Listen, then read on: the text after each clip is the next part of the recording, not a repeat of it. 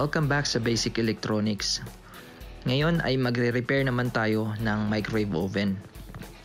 So, ang sira nitong unit na to ay uh, ayaw siyang uminit at saka wala din ilaw yung loob ng microwave.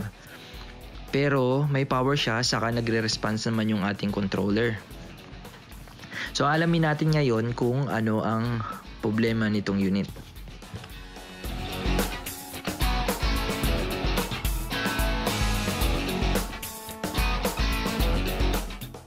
So bago natin simulan ang ating pag-troubleshoot, alamin muna natin ang uh, circuit operation nitong microwave oven. So meron tayo ditong schematic diagram ng ating microwave. Uh, kung titingnan natin, uh, para mapainit natin yung microwave oven, kailangan natin magkaroon ng supply or kailangan magkaroon ng supply yung ating uh, high voltage transformer para ma-activate niya yung ating magnetron. Nun? So anyway, uh, kung ang goal natin ay magkaroon ng supply ang dalawang pin or, or tama, dalawang in, dalawang pin or input pin ng ating high voltage transformer. So baybayin muna natin yung unang linya. Yung unang line, dumaan siya sa fuse. Tapos uh, thermal fuse naman Then dumaan siya sa mga ating door switch.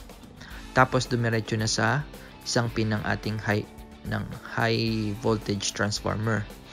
Then yung second line naman, dumaan siya ng thermal fuse, then relay para sa fan at saka turntable. Then relay din para para naman sa at sa ating uh, input ng ating uh, high voltage transformer. So ibig sabihin, dapat ay uh, meron tayong masukat na supply sa dalawang input pin ng ating high voltage transformer para malaman natin kung buo yung ating primary line. Kung wala tayong masukat, ibig sabihin maaring sira yung ating uh, relay. So, yan ngayon ang ating gagawin.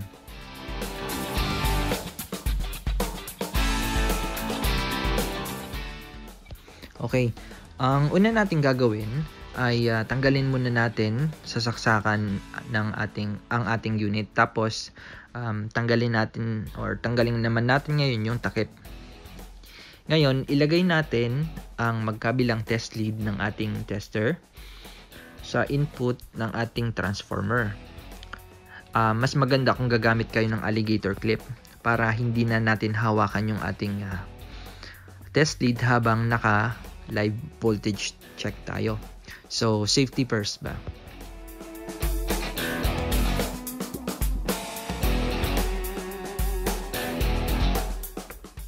Okay, so ang sunod naman natin gagawin ay iset natin yung ating tester sa AC voltage selector. Uh, dapat mas mataas ito sa 220 volts. Ngayon naman ay isaksak natin ang ating microwave oven sa outlet at uh, mag-timer tayo ngayong or mag-timer tayo ng 30 seconds.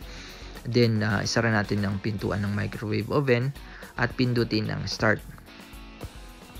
Tingnan natin ang ating reading kung meron tayong nasusukat na input voltage sa ating transformer.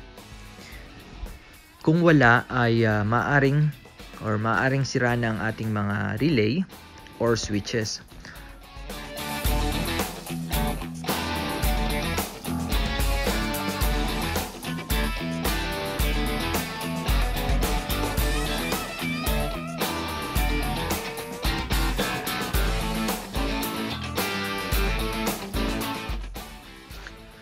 So, upon checking, uh, upon checking the board, nakita ko na isa sa mga relay ay may biyak na. At uh, yung isa naman ay merong may damage or may damage na rin. So, papalitan na natin itong dalawa.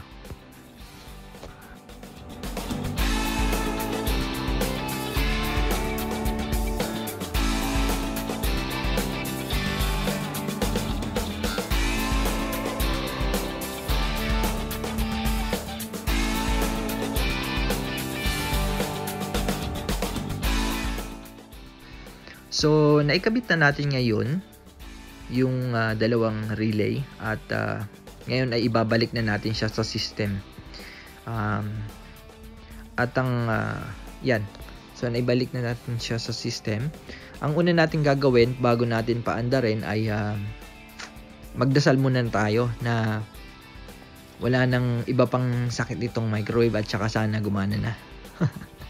so, ayan, ikabit na natin or naikabit na natin yung ating control boards sa ating microwave. Ngayon ay susukatan natin kung may input voltage na tayo since nagpalit na tayo ng relay. Um, ayan, so mukhang meron na tayong nasusukat na voltage. So this is a good sign. Warning nga pala. So, pagka mag, mag-voltage check tayo, hanggang sa input transformer lang tayo pwedeng mag-voltage check. Kasi, um, ang output nitong voltage, high voltage transformer natin ay masyadong mataas. Uh, mahigit ito 1000 volts. So, hindi na kaya ng ating meter.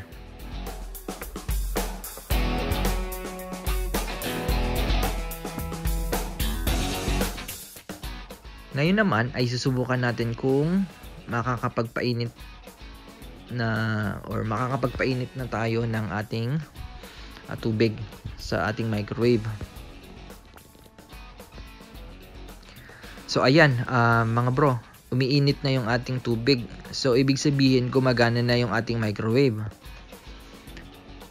Okay mga bro, mukhang ayos na yung ating uh, microwave uh, uh, microwave oven mukhang, may, mukhang meron na tayo na ayos dito sa ating channel. Ayos.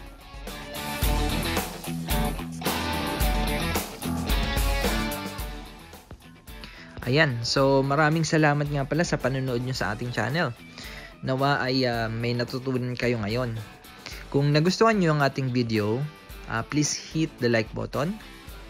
At para naman sa mga susunod pang video, mag-subscribe mag-subscribe lang tayo sa ating channel. At kung gusto nyo naman palagi tayong updated sa mga bagong video, i-click lang ang ating notification bell.